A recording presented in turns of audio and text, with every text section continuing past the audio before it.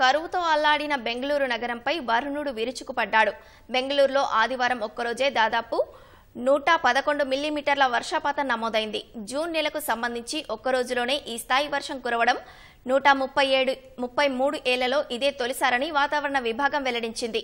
June ఒకటి రెండవ తేదీల్లో కలిపి మొత్తం నూట నలభై పాయింట్ ఏడు ఎంఎం వర్షపాతం నమోదైంది. ఫలితంగా ఏటా జూన్ మొత్తంలో కురిసే సగటు వర్షపాతం నూట పది పాయింట్ మూడు ఎంఎంను ఇప్పటికే దాటేసింది.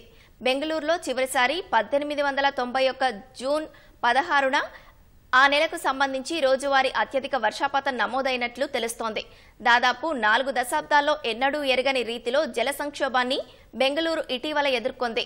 ఈ క్రమంలోనే నగరాన్ని వర్షాలు ముంచెత్తాయి. రాష్ట్ర వ్యాప్తంగా నైరుతి రుతుపవనాలు మరింత విస్తరించాయని దక్షిణ కన్నడ ఉడిపి హవేరి బళ్ళారి బెంగళూరు మైసూరు జిల్లాలకు ఎల్లో అలర్ట్ జారీ చేశారు. తాజా పరిస్థితులను ఉప ముఖ్యమంత్రి డీకే శివకుమార్ సమీక్షించారు. భారీ వర్షాల నేపథ్యంలో అవాంఛనీయ ఘటనలు జరగకుండా అప్రమత్తంగా ఉండాలని అధికారులను ఆదేశించారు.